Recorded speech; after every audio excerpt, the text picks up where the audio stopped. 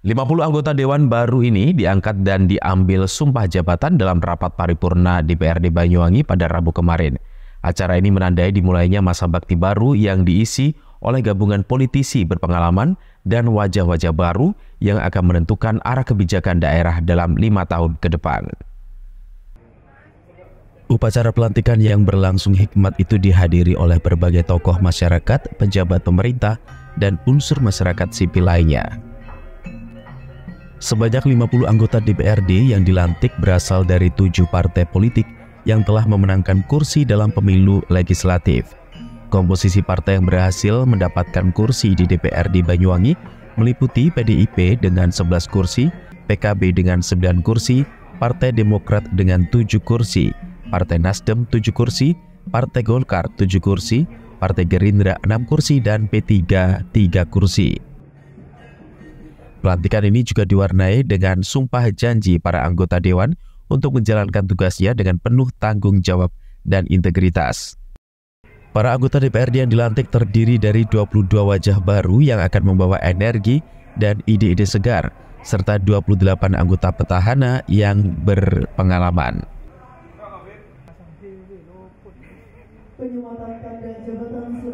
Dalam rapat paripurna pelantikan ini turut ditetapkan pula Ketua sementara DPRD Banyuwangi yang dijabat oleh Imade Cahyana Negara dari PDIP. Made menyatakan bahwa sebagai pimpinan sementara, ia akan bertanggung jawab untuk memimpin DPRD selama masa transisi sebelum terbentuknya pimpinan definitif. Tugas pimpinan sementara adalah membentuk tata tertib sebagai pedoman kerja Dewan selama lima tahun ke depan, serta menyusun alat kelengkapan Dewan atau AKD seperti komisi-komisi dan badan-badan lainnya. Setelah itu baru akan dibentuk pimpinan DPRD definitif. Selain itu, ia juga menegaskan bahwa DPRD Banyuwangi telah memiliki sejumlah pekerjaan rumah yang mendesak, termasuk perubahan anggaran keuangan PAK yang saat ini masih dalam tahap evaluasi. Selain itu ada pengesahan tiga rancangan peraturan daerah Raperda yang menunggu validasi dari provinsi salah satunya terkait pembinaan Pancasila. Para anggota DPRD yang baru dilantik menghadapi tantangan besar untuk memenuhi harapan masyarakat dalam pembangunan daerah. Dengan jumlah anggota yang terdiri dari politisi baru dan lama, kolaborasi antara berbagai elemen menjadi sangat penting dalam upaya mewujudkan kebijakan yang responsif dan progresif. Pak, mungkin bisa diceritakan uh, acara hari ini seperti apa, Pak? Ya, hari ini acara pelantikan DPRD Kabupaten Banyuwangi periode 2024-2029. Ya. Oke. Oke, untuk Pak Made, Pak Made kan ini sudah dua periode, Pak ya. Tentunya sudah uh, tahu tentang uh, kinerja dari anggota dewan yang sebelumnya.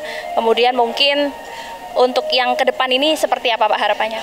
Oke, harapan yang ke depan teman-teman anggota DPRD terutama yang baru yang baru terpilih untuk segera bisa beradaptasi untuk bisa segera juga segera cepat belajar karena kita ini di DPRD harus memahami tugas fungsi kita yang dilandasi oleh regulasi dan aturan-aturan mengenai pemerintah daerah. Jadi segera banyak belajar mengenai regulasi dan aturan yang menaungi kita sebagai anggota DPRD Kabupaten Banyuwangi.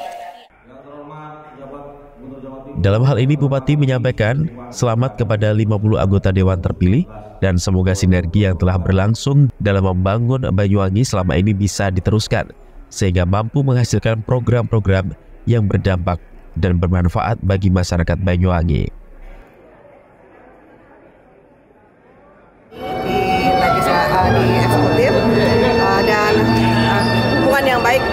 Ini dengan DPRD dan antara legislasi legislatif dan eksekutif sudah baik. Mudah-mudahan bisa dilanjutkan dengan uh, anggota DPRD yang baru ini dan keberlanjutan program-program yang memang belum diselesaikan di periode yang lalu. Mudah-mudahan bisa segera dilanjutkan dan diselesaikan dituntaskan.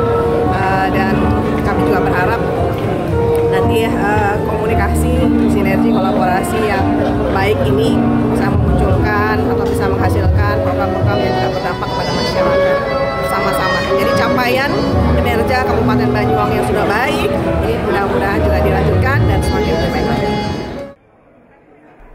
Sebagai penutupan, inilah nama-nama anggota DPRD Banyuwangi periode 2024-2029 beserta partai politik asal mereka.